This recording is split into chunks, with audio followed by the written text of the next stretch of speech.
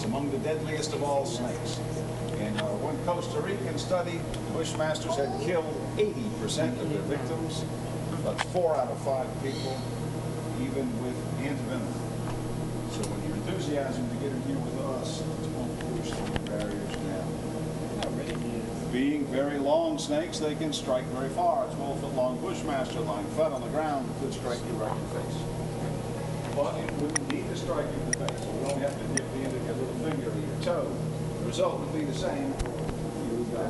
I don't want to be In some cases, in under 10 minutes, the long fangs wound important blood vessels and send the venom directly to the heart. Now, these snakes have another irritating habit besides being able to strike so far. This is one of the few snakes known to chase you.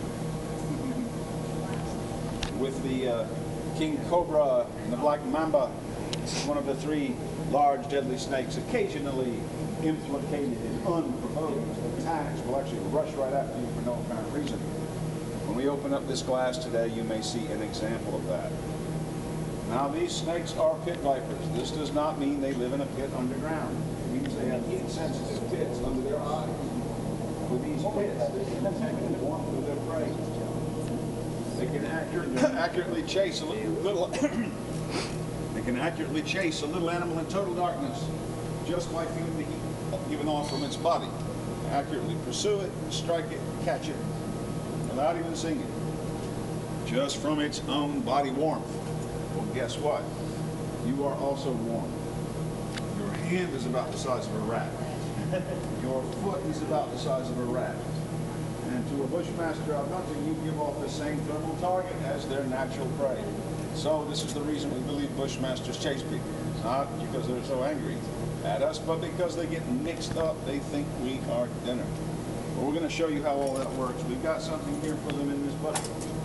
They really, really love hot, juicy rats. And when I say hot, I mean really hot. They're floating in hot water. No, they're not swimming. They're floating. Actually, they've already sunk into the bottom. They're, they're quite dead. We killed them some hours ago very humanely, or at least my associate did. I say very humanely, right, Michael? Because when I walked into the room, I saw a suspicious smile on his face. I've not been able to forget all day. We'll have to do something to correct that. At any rate, these rats are very, very hot now, and this is to fool the bushmaster into thinking he's going to get something live, and hot and warm to eat. So there's two of them in here, one in this log, one over, uh, over here in the corner. They're an average-sized bushmaster of about seven feet.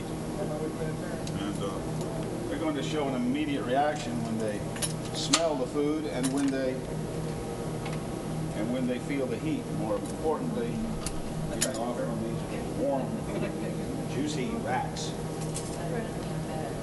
Before I begin, I'm going to put a little something in these rats.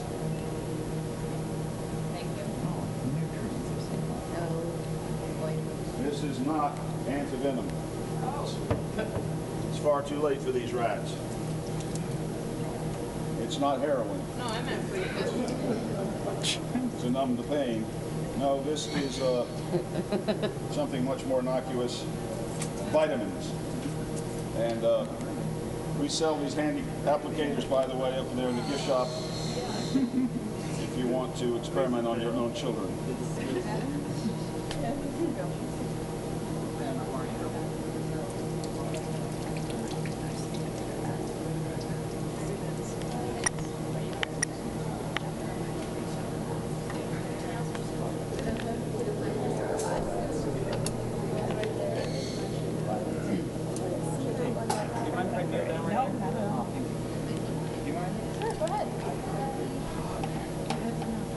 Just drop it.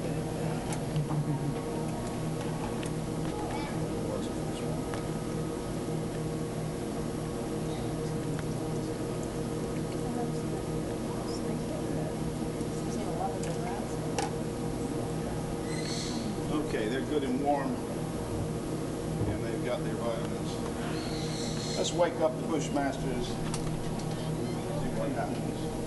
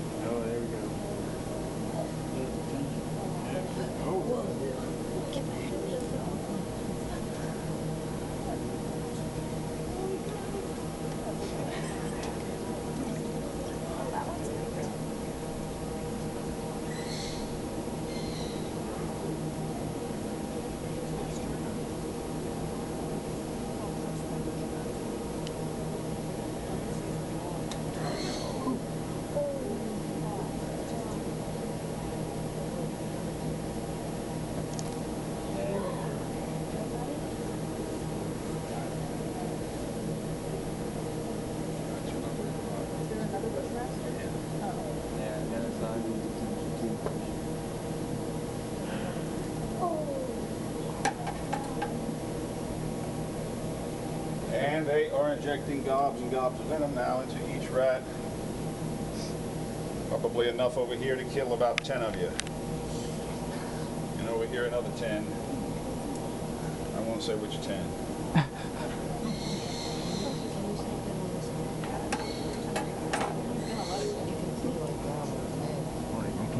Now, why is he, he's opinion? It's already got food. Now,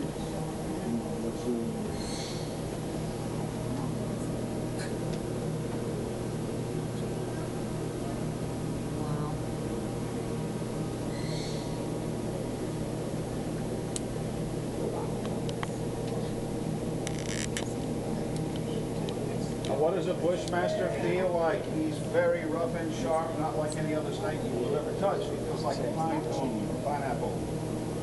His uh, scales are so sharp they could cut your fingers. And on the end of the tail, a little thorn. It's like a little thorn on a rose bush. You vibrate that thorn in the weeds, it makes a loud rustling sound scare away their enemies and their friends. Actually, they don't have any friends.